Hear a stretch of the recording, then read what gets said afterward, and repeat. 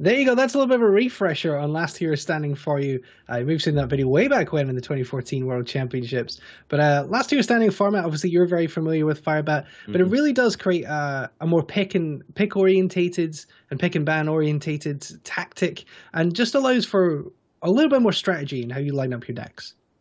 Yeah, definitely. I think it does. So there's a way more things that you have to consider, and you have to try and sort of leverage your lineup to make sure that you can't get 3 0'd and uh, predict your opponent's ban so that you can make a ban that sort of counteracts your opponent, which comes into a little bit of the mind games here. And we've seen a lot of series so far in this tournament where players have uh, been like swept by Paladin, for example, as their counter to Paladin gets banned, and they don't see that coming in the future, so they don't have another deck to counter Paladin, and they didn't think to ban Paladin there. So that's been a common trend that's been happening this tournament. Yeah, and it, obviously a lot of players are maybe not as uh, familiar with last hero standing, or are maybe a little bit rusty on how last hero standing works from what we've seen.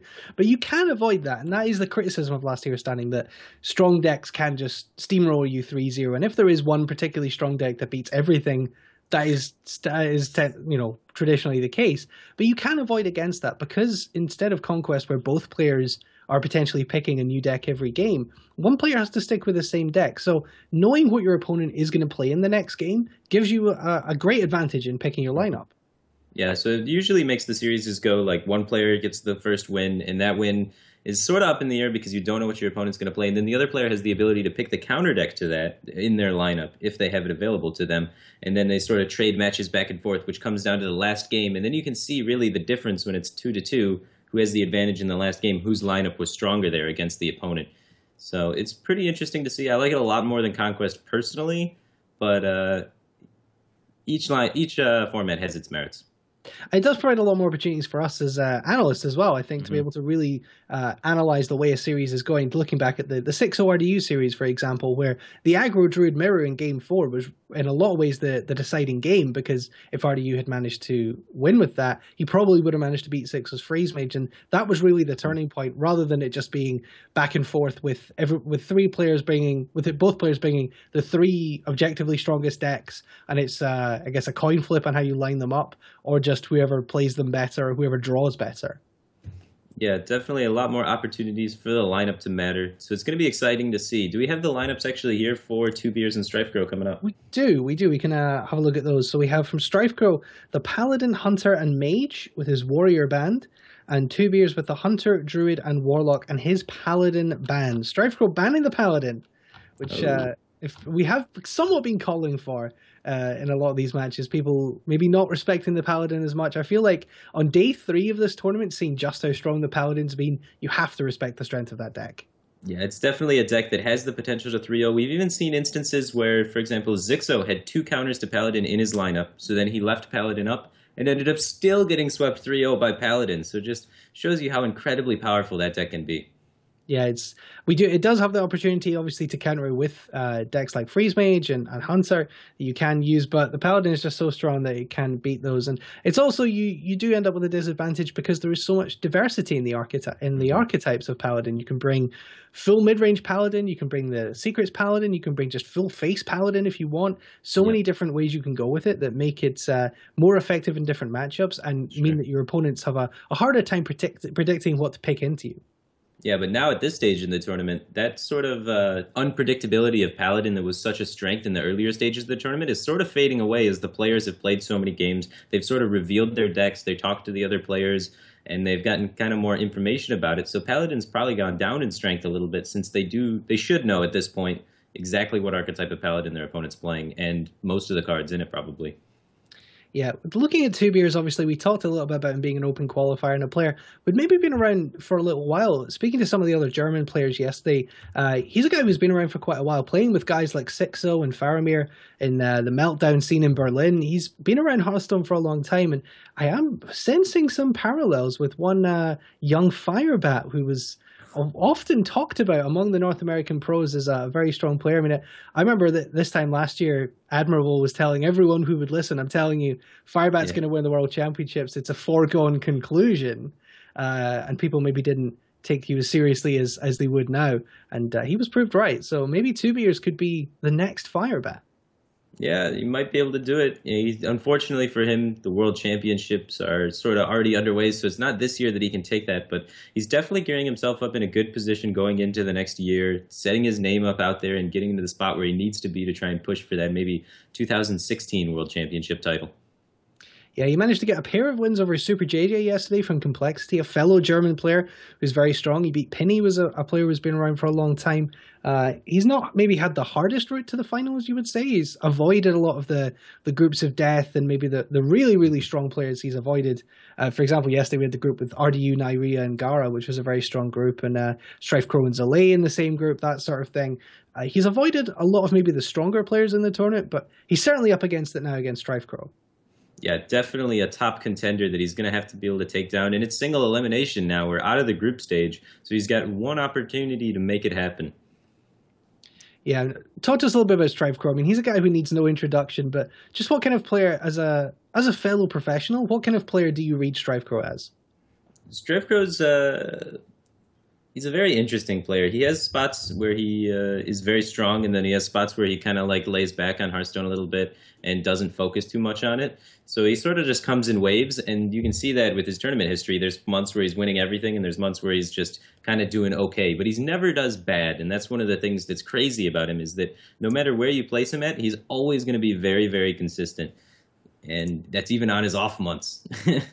Yeah, he's only dropped uh, four games in total in this tournament so far. Hasn't lost a single match. Uh, I mean, he beat uh, yesterday in his first group. He managed to overcome uh, Gara and Nagoyan as well. So he's he's had a more difficult route. He's beaten some very top players. He's topped both of the group stages. Uh, he's going to be considered probably the favorite from this bottom half of the bracket. Yeah, I would say so. He's got to be uh, one of the most well-known players in the Hearthstone scene in general, and definitely one of the most well-known players in this uh, tournament itself. And uh, after the World Championships, not going into that, I know personally myself, I feel like I need to prove something. So in the tournaments that I play in, I'm going extra hard, and I feel like maybe StrifeCro and some of the other pros that didn't quite make it to the World Championship are feeling that same mentality where it's like, wait a minute, I'm not in this the major tournament anymore. I really got to prove myself now. So it's going to be interesting to see uh, how strong he's going to be here today. Yeah, I mean, we do have a couple of uh, majors coming up still. We've got DreamHack Winter at the end of November, which is uh, another big opportunity for top players like yourself and like StrifeCro to to, sh- to show that they can still win. I mean, we saw that from uh, from Kolento last year, right? He went out in the quarterfinals of the World Championships when many people thought that he could go all the way, and uh, came back in DreamHack Winter with a renewed sense of focus and was able to yeah. to sweep that tournament. Yeah, th- these top players, man, if as soon as they get like one loss, they really just readjust and go even harder. So I can imagine StrifeCro, and we've seen so far in this tournament, he's really focused in. He's really showing why he's a top player, and it's going to be really hard for TwoBiers to beat him. But at the same time, it just makes such a great storyline for TwoBiers if he is able to beat it. I'm just so excited to see these Titans clash, and I'm just can't wait for the action to unfold. And we see a, a, Warlock deck from TwoBiers. We haven't seen too much Warlock in this tournament. I think it is a, a Zoo, right? Because I think we saw the yeah, yeah. the mirror match against Raven. So yeah, TwoBiers bringing the the Zoo deck, which is not necessarily favored as a strong deck right now. As I say, it's a class that it's probably like in that fifth class spot when a lot of people have been bringing four classes. Warlock is the the next one they would bring, but it just hasn't been uh, hasn't been favored. Why do you think that is? Uh, Warlock is like not the greatest against Paladin most of the time. Like the handlock variants can struggle a lot against Aldor Peacekeeper and some of the tools that Paladin have. And then at the same time, now the Paladins are throwing in zombie chows. They're throwing in that early game board control cards. And uh, Warlocks tends to really struggle against that. So it might be the downfall of him here today. But luckily for him, it's not the Conquest format. So he can still lose with a weak deck and take like risks of having weak decks, using them as counter decks, whatever. If you lose with the weak deck, you still are not just trapped out of the series as you were with Conquest. So it's kind of refreshing to see that even if Zoo was maybe a poor choice for him, that he can still have a chance in the tournament. Yeah, it feels like the the big uh, big um, victim of the patron nerf, the big fatality, has been uh, handlock rather than warrior. It's the warrior class. The mm-hmm. warlock class has suffered. Uh, warrior we're seeing still in pretty much every lineup here, even some versions of the patron warrior, uh, which we'll maybe get to see from Sixo later on. Uh, and you know the fatigue warrior from Zalae, it's still very much alive as a class. But warlock is the one. I mean, this is the first major post patron tournament, and we're just seeing from warlock in pretty much every lineup to pretty much no warlock. Yeah, Warlock is like it's one of those decks that does all right against everything, but it really excelled against the Patron Warrior. And now that it doesn't have its greatest matchup, now it just has kind of left over a bunch of mediocre matchups, and that's not exactly what you want to have in last hero standing. You want to have decks that you can ladder against your opponent's decks as counter decks, and uh, Warlock just doesn't do that in too many matchups, especially with Patron gone. We see TwoBiers as the only Warlock player left in the tournament after RDU lost with his handlock and was the only Zoo player to make it to the top eight. So we'll see if that's a choice that plays pays off for. I mean, as I said, this this isn't just some scrub who's coming off the street, coming from ladder, uh, and decided to play in an open qualifier for the first time. This is a guy who's been around the Hearthstone scene for quite a while. He's watched friends go to the very top, go to major championship victories, guys like Sixo, and uh, he's looking to emulate their success and, and follow in their footsteps. What kind of motivation can that be for TwoBiers?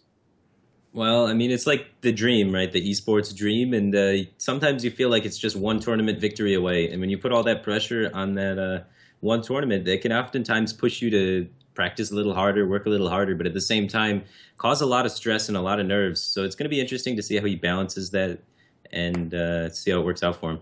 All right. I promise we are about ready to start this game. We apologize for the delays uh, while we've been sorting out the issues with uh, Nyria and the, and the previous quarterfinal and trying to get this one queued up for you. You can understand that uh, live production not always always the easiest thing to do in the world, as well as running a tournament uh, alongside it and trying to broadcast it. But uh, we are just a, a, minute or so away from this match, and uh, I'm just trying to look at what the first matchup is going to be, uh, so we can talk about that. I think the first matchup is going to be the Hunter of TwoBiers against the Paladin of StrifeCro. So we're okay. going to see the the Paladin come out straight away. The very this okay. probably the strongest deck we've seen in the tournament against the Hunter. And yeah, there it is. And we we uh just got the wrong picture there for uh, TwoBiers, but we'll fix that in a second. This is the tech we saw yesterday. We talked about the dread scale, and it's in here for this matchup in particular. It's gonna be. He's looking to try and play it on turn three against a turn three muster for battle and just completely destroy all of the one one tokens. And I mean, even if that doesn't happen, the dream doesn't happen. There's going to be so many cases where Paladin just has so many one health minions or divine shield minions, and Dreadscale can pick up a lot of value off that you know, it looks like it's going to be a mid-range hunter. The presence of the web spinner kind of indicates that. Uh, it'll be interesting to see if StrifeCro. I mean, you talked to a StrifeCro maybe not being the player who uh, invests the most time in being in play in playing the game of Hearthstone. He maybe didn't check out the stream over the past two days and wouldn't have seen this Dreadscale tech because uh, I think we only saw it once from TwoBiers, maybe on day sure. one. Sure, sure. But like even if you have seen the tech and you know it's there, can you really turn down a muster for battle? Like it's just such a huge play and if you don't do it, you're foregoing such a huge development most of the time because that's one of your crucial three drops in the paladin deck. Yeah, I mean, and this is uh, a pretty good hand here for Strife Is double two drops into Muster for Battle or ah, Coghammer. He's just going to go with the Secret Keeper with no secrets to follow it up. But it does demand yeah. a response, the Secret Keeper. Yeah, it definitely demands a response. It can test the web spinner on board, allows him to save the coin for maybe some trickier plays later on. He can coin a three drop if he needs immediate action on the board against something like a Knife Juggler. Or he can hold on to the coin and probably try and get out a rushed Mysterious Challenger or one of those bigger threats that are in the Paladin deck. Well, second Muster of Battle coming to hand. Does he just want to flood the board with dudes, go ch- uh, muster into muster? this could be a disaster for him. If he's a, if he goes for the muster for battle here, it could totally backfire on him, and this dread scale could just snowball the game right here on turn three, and maybe mm. make it into a swift ending right here. I, I can't say I've ever actually seen dread scale in a competitive match before Firebat. I don't know about you. Yeah, I mean, I've seen a few players play around with it. Uh, we have yet to see it have the huge blowout impact yet, but it's uh, it came close here. But uh, StrifeCro going to go with the Coghammer instead. Yeah, and this is where we see that a lot of decks are being tuned towards this paladin. So we talk about players maybe not respecting the paladin, but I think a lot of people maybe don't think it's completely unbeatable at this point. They're just yeah. trying to tech their decks towards it. So we see things like Flare, we see Dreadscale, we see Cone of Cold and Freeze Mage, uh, we see Yagoo doing quite well with Rogue. People are trying to find the way to, to beat the deck rather than having to ban it and take it out. Yeah, it makes a lot of sense when you expect every single person to have it then uh, if you can find a lineup that can target it effectively and just kind of cancel it out, you're going to have some great success. All right, so the Coghammer did come down last turn, which makes up for an awkward huffer here from yeah. uh, from TwoBiers. Definitely not the huffer, not the creature he would have liked to see. I don't think. Yeah, he's debating, I guess, whether or not he wants to pop the bubble or not pop the bubble. He does have the the trap up, so he could be like holding back and maybe try and signal some sort of snake trap play. But uh, I would really like to see him go in there and pop the bubble off, as otherwise it just dies to the weapon. Yeah, I mean, this you are allowing your opponent to trade the secret keeper into the into the huffer here, but otherwise it does just die to the weapon. So, I mean, there's a freezing trap up, but true, yeah. So it yeah. doesn't trade with the freezing trap, uh, unfortunately for StrifeCro, but you can just kill it with a weapon. Mm-hmm. He's just definitely yeah, he's definitely going to be able to take it down with the weapon. Lucky for him enough that it was able to pop off a bubble, but Huffer not the one you want to see going into a two damage weapon. But I'm really excited about the story of this Dread Scale and seeing if he can actually do some work here because there's just so many situations here where StrifeCro could muster for battle, and if he does, it could spell absolute disaster for him. Yeah, I mean, muster for battle on three. I mean, uh, especially into a freezing trap, it actually doesn't. It feels pretty good because then you can trigger the freezing trap with a one-one, which is a really low value minion. Uh, it feels like a great option, but this dread scale. Yeah, I, I feel like we may see the Secret Keeper come down here just for mana efficiency for StrifeCro, or a Muster for Battle. I don't see him playing one of the two drops, and it is going to be the Muster for Battle. Oh my gosh, this Dread Scale. Yeah, I mean, that's just going to be a Snap Dread Scale, right? Oh yeah, that's the dream. This is why you put it in the deck. You, you, you thought about this situation, you put it in the deck, and you're just praying and hoping it happens. Oh my all of those dudes are just about to get roasted by their Dreadscale. Dreadscale, big game hunter for one ones. Yeah, absolutely disgusting. And now the cog hammer's gone, so he doesn't have the ability to remove the 4-2 as efficiency as efficiently as he would like to. He has, so he has no way to take this out this turn, right? No, so it's going to be able to proc again and start doing even more work on the board. You can even use it to pop the Haunted Creepers, so then the 1-1s of the Haunted Creeper die as well. This is uh this as you say, this dread scale could just completely snowball this game. As long as that dread scale was on the board, the muster for bat was a dead card in StrifeCro's hand. He doesn't yeah. want to play that. Doesn't want to play it at all. It's a bit interesting there. StrifeCro didn't decide to maybe try and pop or hit the dread scale because the effect happens at the end of TwoBiers turn.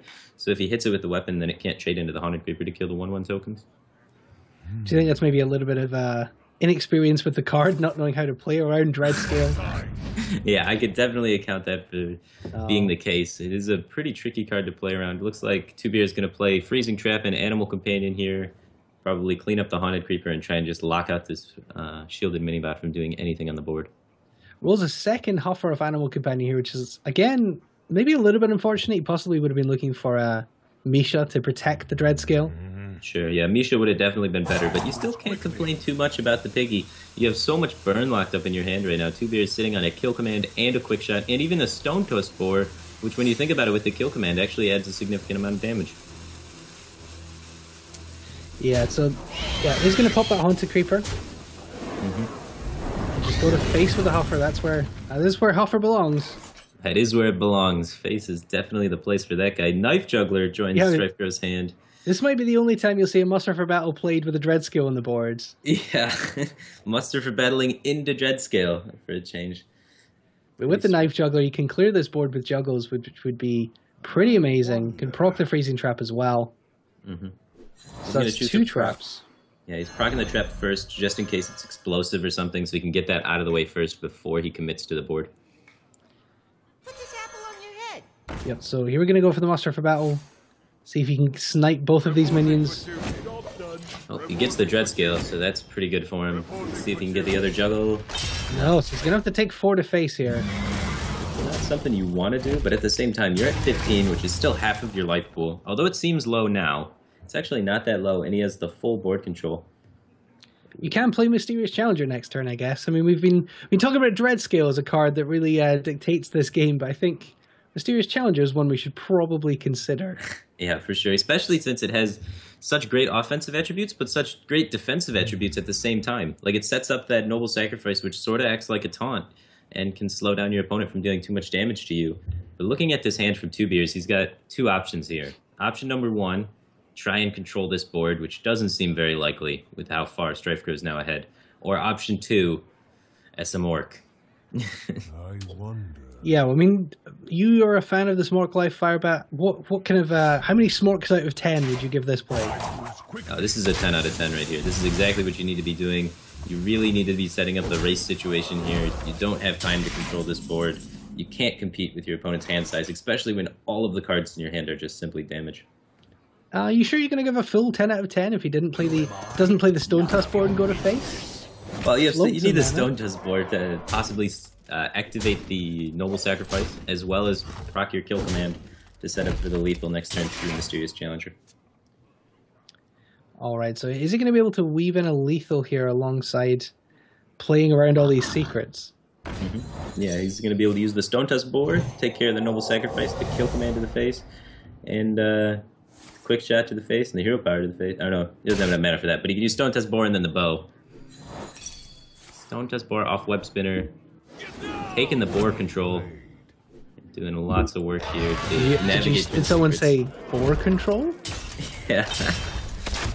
yeah. Well, not not really any board control, just more SMOrc control, I guess. Well, TwoBiers is going to take the first game here against StrifeCro. Uh, that's going to be a little bit, a little bit of a nerve settler for him, I guess. Going up against such a big player, you know, you half expect to just get blown away 3-0, I think. Going up against such a, an established player, getting that first win, TwoBiers could really settle into this series here. Uh, and this could be, we could have a match on our hands here. yeah, definitely. Getting the Paladin out of the way has got to feel good. That's a deck that's just terrifying to play against, even when you have counters to it. Sometimes the Paladin can get one of those draws that you can't even beat with the counter. So just getting that out of the way, getting that done with, StrifeCro can no longer queue it because the last hero standing format. It's got to feel good. Yep, so StrifeCro has the Hunter of his own and the Mage left. hmm I'm not sure what mage it is that StrifeCro is playing. I think, I think it might be Tempo Mage. Tempo Mage, really. Strife is really known for the Freeze Mage, so I would be leaning more towards Freeze Mage, but uh, I don't know if we've actually casted the Mage yet, so it's sort of a mystery still. Yeah, I think we might have missed out on that one. Yeah, definitely. Uh, Freeze Mage can be alright against mid range Hunter, it's not exceptional, and then the faster Hunter usually wins between two Hunters. So if he's got a sort of aggressive Hunter, I would definitely see that coming out here, but if he's got a sort of a slower Hunter as well, like TwoBiers' mid rangey Hunter, then I don't think Hunter's going to be coming out. I think he's going to have to try and bank on the Freeze Mage or Tempo Mage. All right, so we'll see what he does decide to go into here. Be interesting to see how the Dreadscale affects uh, a potential Hunter match as well. There's uh, th- if StrifeCro's bringing a more aggressive variant, things like Worgens and Leper Gnomes, Abusive Sergeants, that Dreadscale could really mess him up. It's looking more and more like a, a, really interesting tech choice. Yeah, definitely could do a lot of work against a more aggressive Hunter. That's really interesting to see it come out like that. Yeah, you're gonna go play with your Dread scale Hunter after I when, think- when we're done here. Yeah, I think I might have to start teching in Dread Scale. Maybe TwoBiers is just ahead of the meta and knows the right techs. But uh, that's not a mage or a hunter, that's a warrior. Oh, I thought we. I did see the warrior was banned for StrifeCro. Maybe we got the uh, wrong information there. It was actually the. Yeah, so it was actually the mage of StrifeCro that was banned, not the uh, not the warrior. So the warrior is still alive, and it was in fact the druid of TwoBiers that was banned, and not the paladin. So TwoBiers does still have his paladin available. All right, so TwoBiers, he has some interesting tech here as well. He's got the Harrison Jones teched in, maybe foreseeing the possibility of Warrior being queued up to try and counter his Hunter. So he throws in that Harrison Jones in there to try and burn him. Yeah, I mean we're, seeing tech cards coming into the hands here uh, for both players. For, for TwoBiers, sorry, uh, against both ma- in both matchups, picking up the tech card in his opening hand. I don't know if he kept that. He possibly kept the Harrison Jones there off the mulligan. Oh, what yeah. do you think about that? Yeah, for sure. I mean, Warrior's going to try and play weapons to stop your damage. Harrison Jones is a solid five drop, and it just removes those weapons, so it just directly interrupts the game plan that the Warrior's trying to have against you. Yeah, we're just going to see coined out Armorsmith here from StrifeCro. This is a play we kind of talked about yesterday. Is uh, whether or not you should coin out the Armorsmith on two when there's no no threat and you don't want to play your Fiery War Axe early. Would you not maybe save the coin for for later oh, for later turns? Uh, I could definitely see saving it for later, trying to get one of these two six drops out of your hand. But at the same time, getting that Armor Smith down on the field allows you to develop the Fiery War Axe cleanly. It's just you have two two drops because you can consider the Fiery War Axe as a two drop. It's very fine and reasonable to try and get them both out there. Helps you interact with traps and such a little bit better as well. Yep, does play the Fiery War and yeah, we're gonna go ahead and kill the Mad Scientist and I assume it will be freezing trap here because we see a snake in the hand, and Mhm. we saw two freezing in the last game, so I would assume it's just two freezing, one snake for TwoBiers. Yeah, no more techie cards, I guess. I mean, No, you no- gotta no run out snipe. of. Yeah. How many tech slots can you have? You already got Harrison Jones and the other guy in there. But Misha comes out. It's pretty fortunate for him. Misha on turn three is pretty difficult for a warrior to deal with most of the time. Yeah, I mean, even with uh, an armor smith up or something, you might have been able to do something with uh, armor sm- with shield slam, but doesn't have that available. Even bash just does three damage, so no way to clear out this Misha here. Will I assume we either just see an armor up and pass, or the armor smith come down. I don't mind actually seeing just like the bash and swing either. Like if you want to play super defensively around something like Houndmaster, it seems pretty reasonable. But uh, it just depends on how much of a risk you want to take because bash is such an incredible resource, and having to sink the second charge of the War Axe and bash into one minion is really costly. So Strife is going to take a bit of a risk here around Houndmaster and just uh, let the bear live. Uh, look at that damage into Beer's hand. Wow. That's a lot. That's two kill commands and a quick shot. Yeah, I mean that's not what you want to see this early on in the game. You really want to be developing your board. But uh, if he's able to keep having these minions stick like this Misha's been sticking, that damage can soon reach that critical level that's required to end the game. Yeah, we could just see a, uh, a snake trap and a hero power here just to develop the boards. Mhm. Keep pressing that hero power to answer the warrior hero power, especially with the armor smith on board. There, the armor smith will give him an answer to Misha this turn for StrifeCro, but he will either have to take four to face with the war axe or use his bash. Um, I think we might see the bash as the answer here, just because he doesn't necessarily have a better option in his hand other than a, a four mana armor smith. Interesting he chooses to use the kill command here. I would have liked to see the snakes come out there as most of the time the warrior is going to be using their face to kind of deal with the bear and you could have got some early snakes out which can really actually be difficult for the warrior to deal with is like traditionally they can struggle against paladin because they don't have too many whirlwind effects in their deck unless they're running the patron variant. Okay, well, we do see now the ability to remove Misha from the board in the StrifeCro hand, but none of them are particularly great value options. You can use the axe and execute or bash. You can use armor up, shield slam, and execute, but it's a lot of resources into a Misha.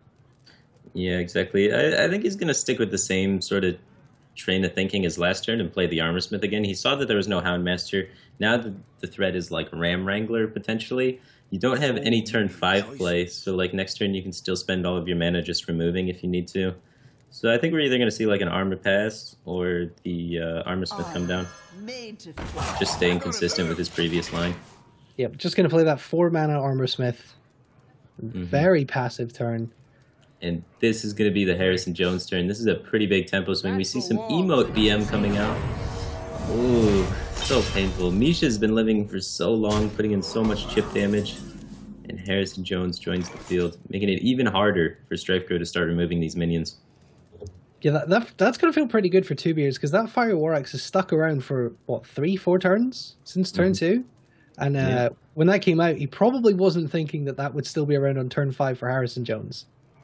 Yeah, exactly. I think that was uh, sort of the justification behind the kill command line. He wanted to kill command the armor smith so that uh, StrifeCro couldn't use the armor smith and the war axe to deal with the Misha, so that he would just kind of, even though he like neglects his own snake trap value, he's just uh, sort of ensuring the Harrison Jones value. Pretty interesting line.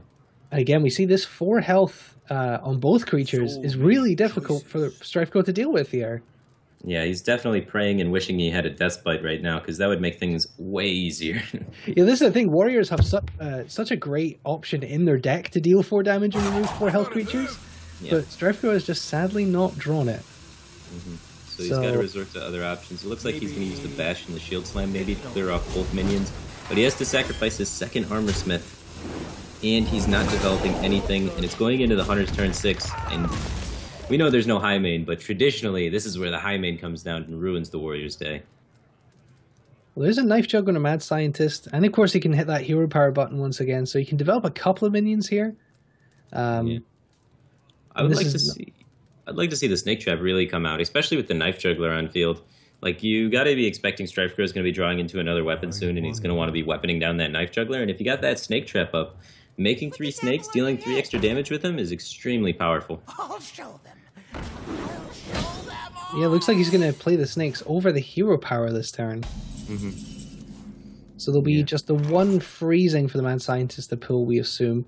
Second War Axe is a pretty good pickup, allows him to clean up this board for StrifeCro. But again, StrifeCro's going to have to be very passive if he wants to clear up this board. Yeah, he's gonna say that the knife juggler is too much of a threat, and he's gonna slam it and get it out of the way. He's gonna assume that a freezing trap's up, so he doesn't want to develop a six drop into a freezing trap, and he's gonna have to fall for the snakes here, and he's not gonna be happy about that. Now, the StrifeCro really up against it here. The Hunter play from two years with a, a not exactly favourable hand here. hmm Drawing into his damage really quickly, uh, far more quickly than he would want to. He's playing this hand very well. Yeah, he really needs some sort of minion that has any sort of value because he's really just run out of steam here. All he has left is the damage finisher cards, and he's had none of the mid game support or the late game support features that really bring this uh, bring this home. Yeah, this is the point where the hunter he he's, might just go for the kill command into the face here. I'm not sure Yeah. why this is against warrior. It's a play you would not you would normally make against a class which that you don't expect to have life gain, um, especially from something like an Alex Yeah, well, I mean, he needs to get his hand empty. He needs to start cycling this quick shot and get towards more cards that do things because he's way out of gas now, and he's got a very limited window where he can finish this game before the Warriors starts being able to play all of his big bombs and really catch back up on the field. All right, what's he draw on this turn? Gets a King's Elekk. If you can draw into a Highmane here, Yeah. oh, gets- Oh, doesn't get the card draw. He goes for the guard draw off the beast, so he can use some of his mana. Gets a weak minion. Not Well, really t- that's actually not for. bad though, because the Timberwolf means that he can then clear off the five four with the snakes. Oh, he's not trading, is he? I think at this point you've gotten your opponent so low that you don't mind if they heal for five. I don't know. I think I think he probably will go for the trade just because he has so few options in his own hand. But he disagrees with me. He's going going for the face. I mean, when you have so few options, that's when you need to go face because otherwise you're going to get outvalued by your opponent having too many options. But uh, there is the freezing trap up, so he can replay the Shield Maiden if he wants. But if he's replaying the Shield Maiden, he's going to be taking so much more damage on the backswing of that. So I feel like StrifeCro's pressured into a situation where he needs to be using things like maybe Bash to clear. But without a minion to develop behind it, it gets a little awkward. Th- Yeah, I mean bash on the Timberwolf. I guess takes the most power off the board. Yeah, That that's doesn't little- feel good. Yeah, it definitely does not feel like a strong play. So maybe it is. Uh, maybe he does have to replay the maiden. But then on the backswing of that, there's six, seven, eight, nine, nine power on the board directly. 10, 11 with the hero power. Three more from the quick shot, going up to 14 damage potentially coming in this turn. So if he does go with the Sylvanas armor up, which is the risky play to try and get board back, then uh, he would die. I can take the hit. But he is going to go with the maiden, so that puts him uh, three health out of range. Another Elekk. Let's see if we can uh, draw the Highmane this time. No, Oh, whiffs on it again. I mean it's really hard to beat Control Warrior in some jousts. They got a, they got some pretty good tools for jousts. So it looks like he's just going to try and set his opponent down to one health here, possibly hit another quick shot off the top for lethal. No quick shot, but Doctor Boom's no slack. So he's going to make the trade here and clear that off. Which I, I don't mind when you've got Doctor Boom as the follow up. Sure, yeah. If you had only like, if you didn't have like a big creature to follow it up, I like kind of going all in more. But with the follow up of Doctor Boom, makes a lot of sense. And You do also need to trade at least one, so uh, if he, if your opponent doesn't kill any of your minions, you can play the boom bots. But you do win anyway if he doesn't clear any of your minions. yeah, they're probably dead if all of this stinks. You don't want to you don't want to risk having to play a vanilla seven seven for seven. So many choices. That's what you don't want. Yeah, and TwoBiers has positioned himself here that he has 15 damage on the board, 13 on the board, I mean, and 2 with the hero power. So if uh, StrifeCro does Alex Straza, StrifeCro is exactly dead to the board, so he needs something better than Alexstrasza here. And it, as it turns out, all he's got is Alexstrasza. Doesn't have anything quite better. Well, does that remove more power, actually? That removes 4, 5 power, and heals 3 health. So that's like a heal for 8. And then he has the armor, so goes up to 11, and he's still facing down 3, 6, 7, 8, 9, 10. So he's actually 1 damage off lethal here for TwoBiers. Let's see what he can top deck. It does finally get that Highmane he was looking for a few turns ago. Yeah, it's a little late. If StrifeCro can stabilize here, I how does he stabilize? Like he's gonna need some sort of crazy brawl play, I guess. He's definitely gonna need to find some card like Shield Block, some sort of burst healing card that can give him a moment of breathing room, so that then he can establish Alexstrasza. Having these two big minions to follow up is uh, is really great for TwoBiers because it kind of denies the Alexstrasza play. Mhm. If there were just these small minions on board, then StrifeCro could probably afford to to go with the Alexstrasza, but he pretty much just dies anyway if he plays Alex. He's able to find this shield block here. TwoBiers chose to develop the Highmane over the Doctor Boom just because the Highmane's a lot more resilient to things like brawl and execute and whatnot because it comes back to life as two two twos, which is more than enough pressure to end the game. I don't know if if you play Doctor Boom and then he brawls on an empty board, you got a pretty good chance to kill him. Yeah, sure, sure, but it's not as good as having board control. I don't think because if they're able to like do something like shield block and then brawl and then a boombot lives, that's very sad. But if they shield block and then brawl and your elephant, the three two lives, and then the two two spawn on top of that, you still have a significant board presence that uh, Strife would be facing down. Yeah. So I definitely like the Highmane a lot better. We're just gonna see an execute on the three one and then Alex. So that's gonna take him up to 15 and uh, his opponent two damage has- off. Yeah. Two damage. Just looking for one more burn card. Doesn't quite find it, but He drew You know, all his high burn ages ago, and now he's just and he did, couldn't draw his Highmanes on six, and now he's drawing his Highmanes back to back. yeah, I mean, it's not a bad time to get him still. Definitely still still pretty solid on the board here. Is he going to commit the second one, or is he worried about some sort of brawl or something? I would like to see him commit the second one, because Alex can pop the first Highmane and then brawl and cause some shenanigans. Okay. Yeah, so double Highmane. It's pretty hard to see how StrifeCro can get out of this. Does have double shield block, hmm so it can go up to 12, 14, but that's not going to be enough. Doesn't get the Yeah. brawl that he needed there. He's looking. What could possibly get him out of this? Ysera's definitely not it.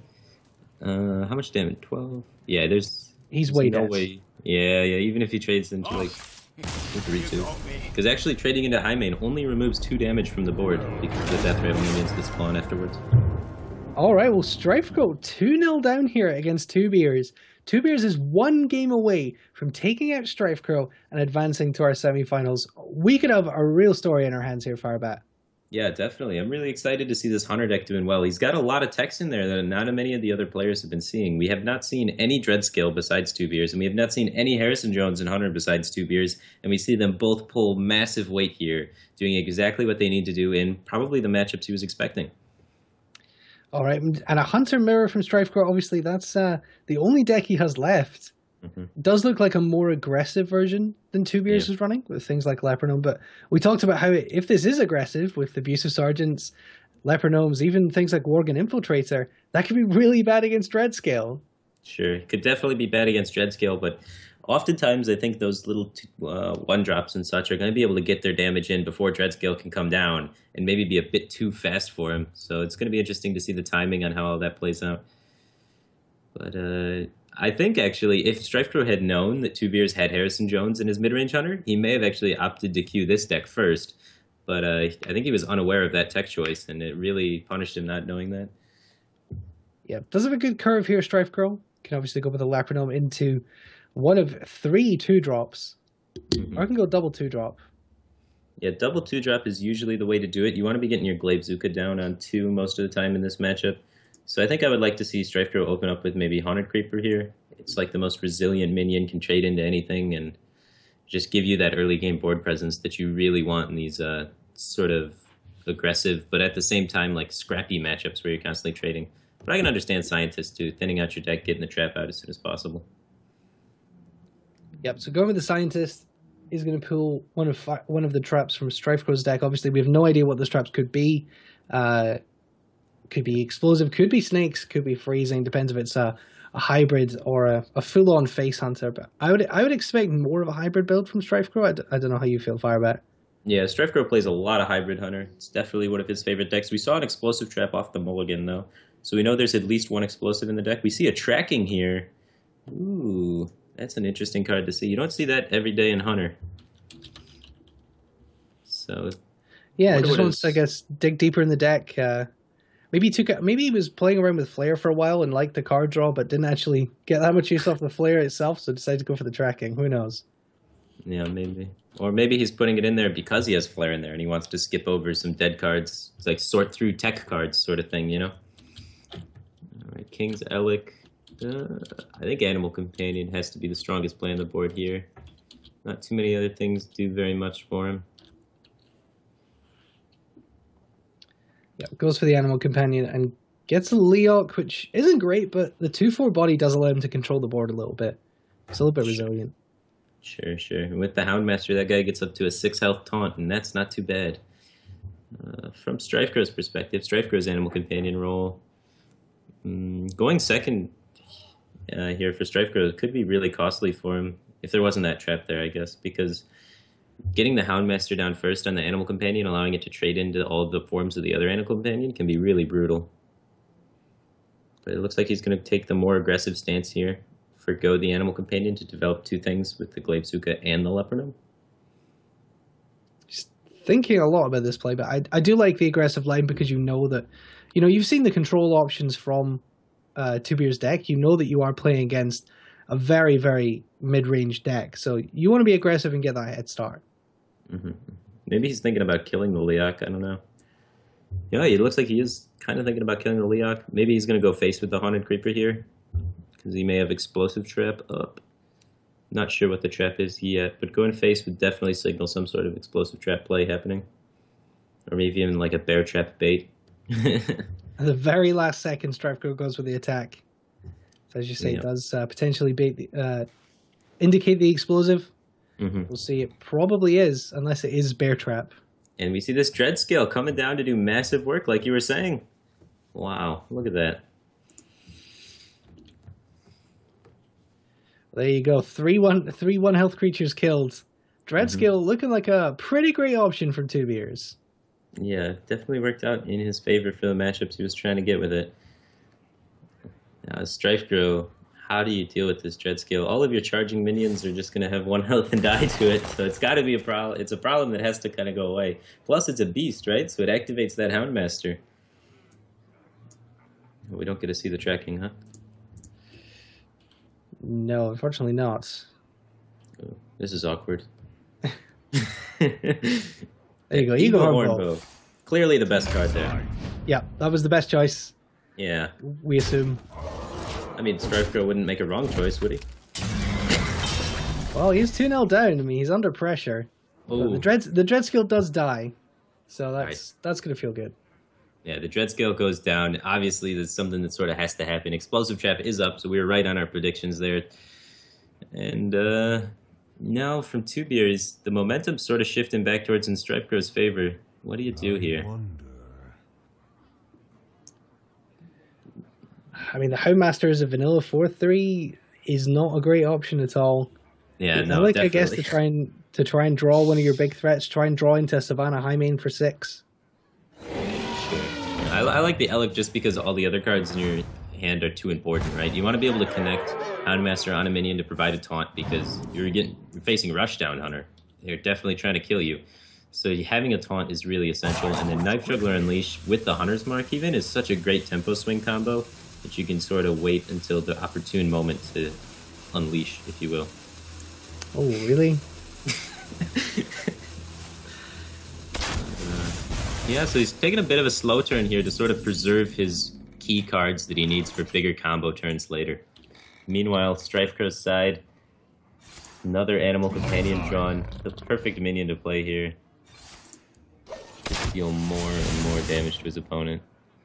TwoBiers is already down to 15 health, and StrifeCro is just sitting on three burn cards in his hand. Yeah, this is looking pretty good here. This is the the benefit of the aggressive hunter, and the mid range hunter does sometimes whiff and isn't able to take back the board.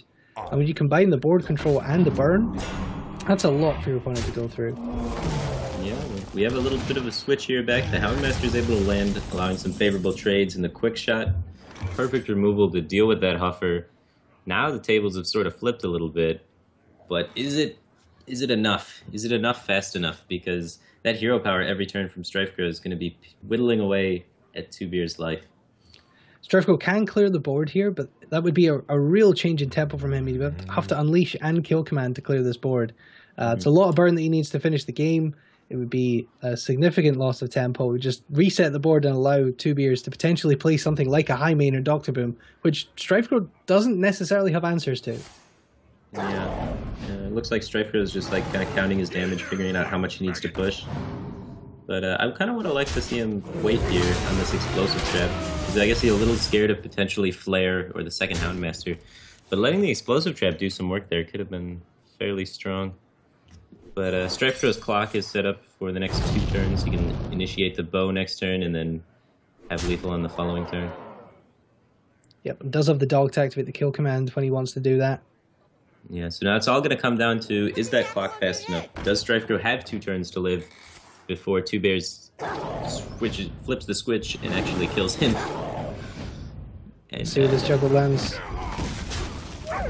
Not too. Doesn't make too much of a difference there, but TwoBiers clears the boards. Yeah. And it's all about what StrifeCro draws here. If he can accelerate this clock any further, I think. Yeah, he's gonna need something like what could possibly even accelerate this clock. I don't. I don't think there's a card like not even Stonetusk Boar, which adds three damage for one mana, is good enough. So I don't know if he can actually accelerate the clock, and he might need some sort of utility card like Unleash the Hounds, sort of clean up a little bit to help him get that one extra turn.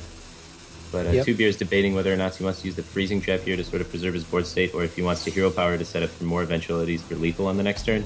And he counts it out and realizes, well, I probably won't top deck lethal if I hero power, so I better just freezing trap and try and gain myself an extra turn on my clock. But, Life shows are really a whiff for StrifeCro here. It doesn't do anything for him. Do you think he just has to develop the bow and hero power and smash in the face and yep. close his eyes and pray? Yeah, it's the, the situation where you just gotta hope. I hope my clock is good enough, and we know, looking at TwoBiers' hand, that it probably is because Two Bear didn't hero power last turn, so he doesn't set up himself in a situation where kill command is gonna allow lethal. So I don't think there's Harrison. a draw. Oh, that's only 15 because he didn't hero power last turn. He didn't set up for the eventuality of this uh, this top deck. He was more concerned about uh, StrifeCro's possibility of chargers and uh, figured he could buy himself an extra turn. But StrifeCro has the bow, which is not stopped by Freezing Trap. So the Freezing Trap play does not buy TwoBiers an extra turn. And StrifeCro's clock is going to be good enough to finish this game out. That's unfortunate. You can definitely see the, the merit in the Freezing Trap play mm-hmm. because it does stall that out, but uh, he is going to be punished, unfortunately. Yeah. Um, the top deck from TwoBiers, not good enough here to finish out the game because he doesn't have anything else in hand, like a quick shot or a second kill command. Yeah. Uh, he could probably. He's probably thinking that he has to play the piloted shredder and quick shot his own piloted shredder to try and get uh, either a taunt or a heal to try and survive. With any, eh, but uh, Striker is sitting on the kill command, so none of those are going to be able to do it for him. But it is a, a valiant effort. Yeah, I mean he's he's playing all of his outs if he does kill mm-hmm. command the piloted shredder, and uh, you know you got you got to play all your outs and see what happens.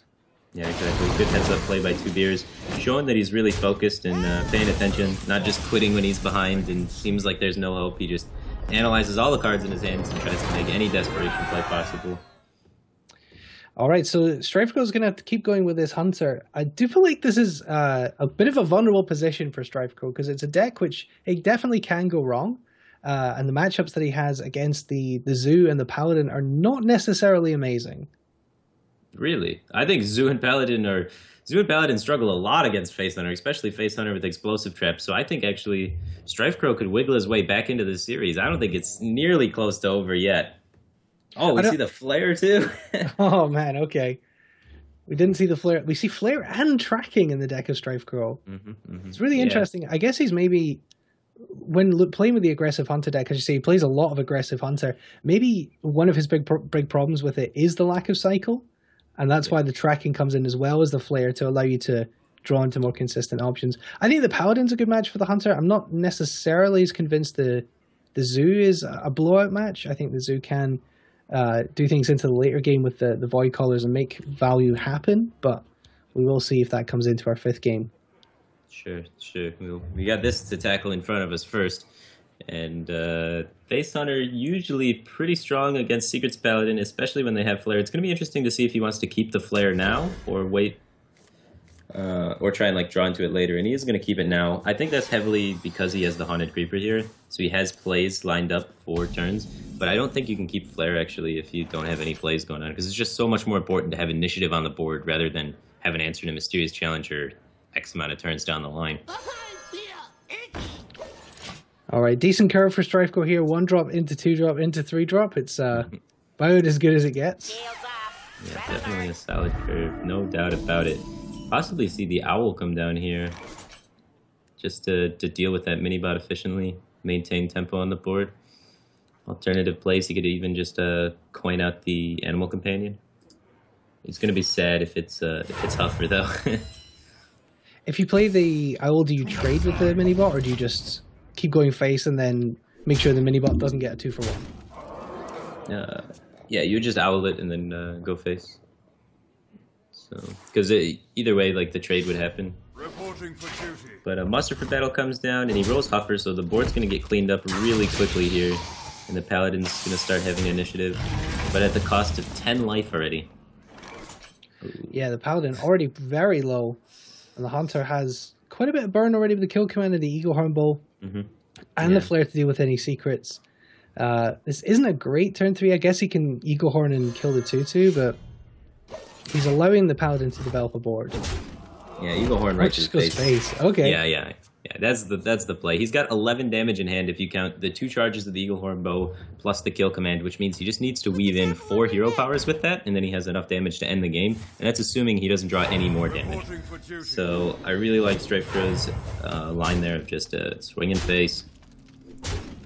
Well, you, you are Professor SMOrc. You would know if, if when Yeah. it comes to going face, Firebat is the arbiter, and if, uh, if Firebat says go face, I'm not going to disagree.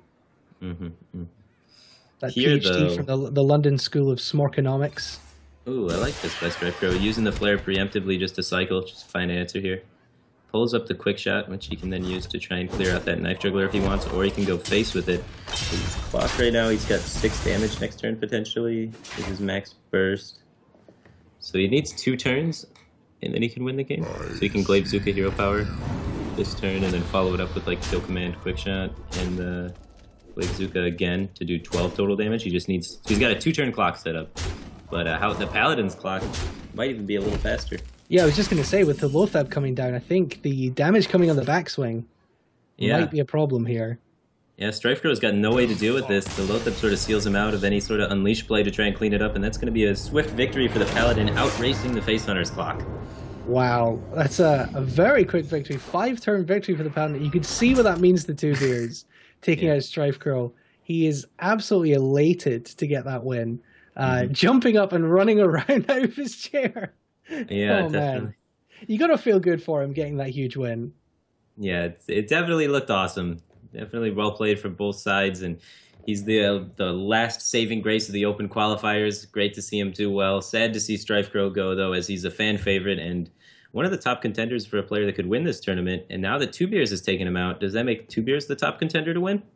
Well, I mean, you got to think a little bit. It's uh, two TwoBiers. When you take out a player like StrifeCro, you can't be afraid of anyone at that point, right? I mean, he's Yeah. in the money. He's in the top four. He's only two wins away now, so he'll play Eloise in the semifinal, uh, and then the winner of Zole and Sixo. But all of those players, well, you, you know, you, get, you could say they're on the level with StrifeCro. So if I can beat StrifeCro, who can who can't I beat? Yeah, and he, he beat StrifeCro in a pretty uh, convincing manner too. It wasn't some sort of like he got lucky and RNG'd his way in there. He had tech cards in his deck that hit, and uh, seemed like he had a plan going into it for this sort of lineup, and it worked out very well. So Yeah, but this is the power of open qualifiers is that sometimes, you know, some of the, a lot of those players did drop in the first group stage and as we get to the top 8, we're only left with one of the 8 that we started with, but one of them has made it all the way to the top 4. Uh, what a breakout performance for TwoBiers. Almost at this point, it doesn't really matter how much further he goes. He took out StrifeCro, he's made it into the money. This is already a breakout performance for him. sure, but he would definitely like to get first. I don't think he wants to stop here. Oh yeah, you don't you don't enter a tournament not wanting to get first. Uh, don't Yeah. blame him for that whatsoever. But uh, yeah, that's got to feel good for him, and, and it shows the the virtue of the open qualifiers. Well, we're gonna go to a quick break, and then we come back to uh, make up, I guess, for not seeing Eloise in her quarterfinal. We're actually going to bring you a uh, special show match with some special fun decks. I believe Eloise has prepared against one of her opponents from the first day and a, a Twitch chat favorite, Show. So we're going to see a rematch between Eloise and Show, uh, and they're going to play some fun decks for us to fill some time before we hit to our semi-finals. So we're going to be back in just a few minutes with that. Don't go anywhere. You're watching the HS Arena Invitational.